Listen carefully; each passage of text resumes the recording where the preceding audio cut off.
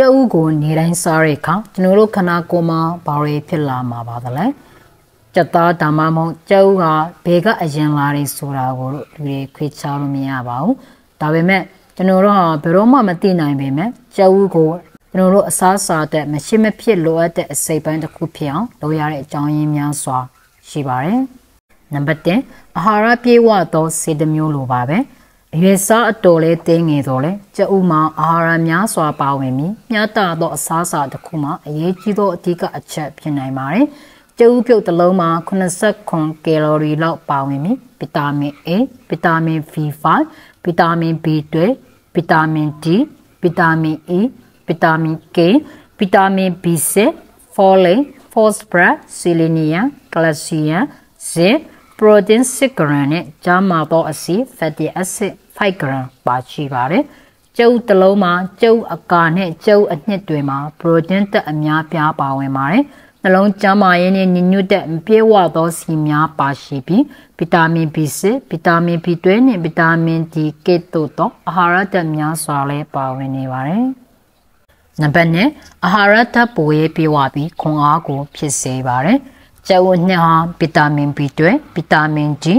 ချိုလိုင်းကဲ့သို့သောအရေးကြီးသောအာဟာရအရင်းမြစ်ဖြစ်ပြီးကျွန်တော်တို့ခန္ဓာကိုယ်မှာကျွန်တော်တို့စားသုံးနိုင်သောအစားအစာများကိုစွမ်းအင်ဖြစ်ပြောင်းလဲရမှာကူညီပေးတာလည်းဖြစ်ပါတယ်။အဲ့ဒီပြင် protein နဲ့ကျမသောအစီပေါင်းဆက်ထားသောကြက်ဥကခွန်အားကိုပေးစွမ်းနိုင်တဲ့အတွက်ကြောင့်ဒီနေ့တာလုံးကြာရှည်ပြေဝစွာခွန်အားပြည့်စေမှာဖြစ်ပါတယ်။နံပါတ်3ဇပင်နဲ့အသားရည်ကိုပူကျန်းမာလာစေမှာဖြစ်ပါတယ်။ ကျုပ်ကဗီတာမင် B2 ဗီတာမင် B5 နဲ့ဗီတာမင် B12 အပါအဝင်ဗီတာမင် B များစွာပါဝင်တဲ့အရင်းမြစ်ကောင်းတစ်ခုလည်းဖြစ်ပါတယ်။အဲ့ဒီအာဟာရတက်အားလုံးကခန္ဓာကိုယ်ထဲမှာကျန်းမာတန်ဆွမ်းတဲ့အသားရည်နဲ့သပင်ကိုထိမ့်သိမ်းခြင်းအပါအဝင်လှုပ်ဆောင်ချက်များစွာပါဝင်ပါတယ်။ဗီတာမင် B အားလုံးဟာရေတင်ပြုံဝင်နိုင်တဲ့အတွက်ကြောင့်မို့ကျွန်တော်တို့ခန္ဓာကိုယ်ထဲမှာကြာရှည်စွာမနေပဲအလွယ်တကူသိမ်းဆေးထားခြင်းမရှိပါဘူးအဲ့ဒီအတွက်ကြောင့်မို့ ကျုပ်ကိုပုံမှန်စားသုံးခြင်းဟာကျွန်တော်တို့ခန္ဓာကိုယ်ရဲ့လိုအပ်ချက်များကိုပြည့်မီစေရန်အတွက်နီလန်ကောင်းတစ်ခုပဲဖြစ်ပါတယ်ကျုပ်မှာမီတီယိုနိုင်ကဲ့သို့အမိုင်နိုအက်ဆစ်များကျေဝစွာပါဝင်တဲ့အတွက်ကြောင့်မို့ကျွန်တော်တို့အရေးပြားရဲ့ skin tone နဲ့လိုက်ဖိညီမှုတွေသပင်နဲ့လက်သေးများကိုတန်မာစေမှာဖြစ်ပါတယ်နံပါတ်၄အုံနောက်မညံများတိုးတက်ကောင်းမွန်စေပါတယ် ကျုံမှာဆေးအမြဲပါနဲ့ခန္ဓာကိုယ်အတွင်းရှိအရေးကြီးသောအာယုံကြိုးတက်ဖန်နည်းဟန်ကုညီပေးသည့်မိုက်ခရိုအာဟာရချိုလိုင်းကြေဝါစွာပါဝင်ပါသည်ချိုလိုင်းဟာမှညံစိတ်နဲ့စိတ်ထောင်ကြွသားထိတ်ချိုးမှုနဲ့အာယုံကျုံးဆံရလှုပ်ဆောင်မှုများအတွက်အရေးကြီးတဲ့အတွက်ကြောင့်မို့ချိုလိုင်းလုံလောက်စွာများရှိခြင်းကကျွန်တော်တို့မှညံကိုထိုင်းမိုင်းစေပါတယ်။တအုပ်တစ်လုံးမှာကျွန်တော်တို့နေ့စဉ်လိုအပ်တဲ့ချိုလိုင်းပမာဏ စစ်ရာဂိုင်နှုန်းခန့်ကိုပံ့ပိုးပေးတဲ့အတွက်ကြောင့်မို့ကျုပ်စားခြင်းဟာကျန်းမာသောအုတ်နှောက်ကိုထောက်ပံ့ပေးနိုင်မှာဖြစ်ပါတယ်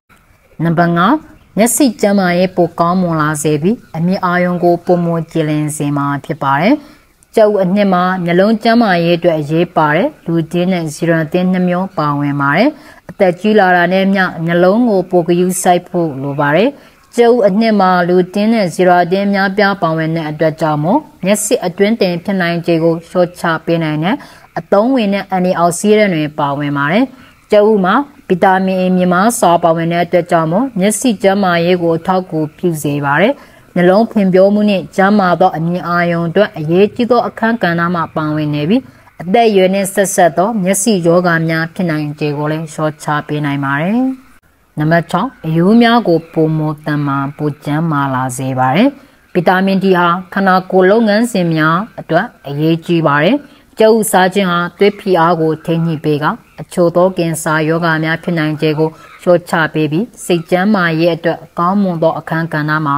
ပါဝင်နေပါတယ်ဗီတာမင် D အကြီးမားဆုံးလုံဆောင်ချက်တစ်ခုကကျွန်တော်တို့ဟာ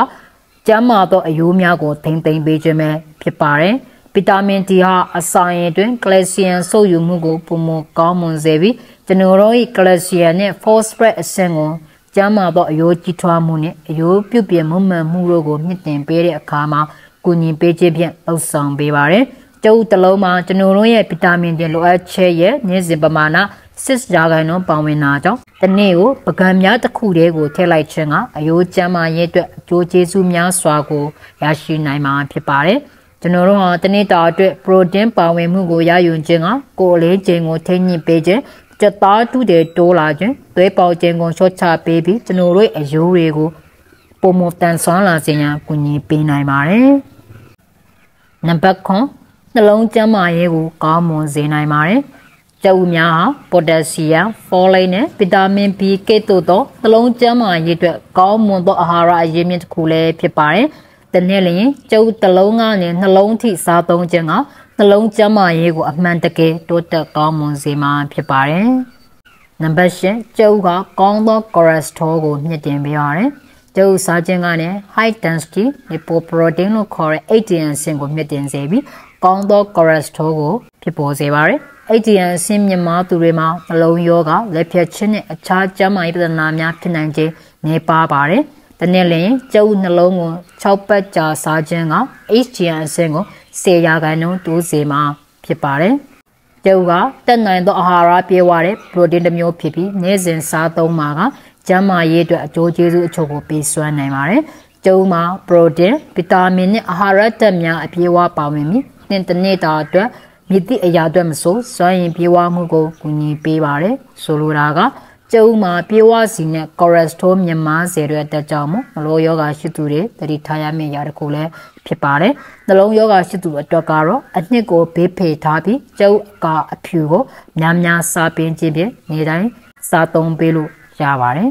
အဲ့ဒါလည်းအကောင်းဆုံးရွေးချယ်မှုတစ်ခုပဲဖြစ်ပါတယ်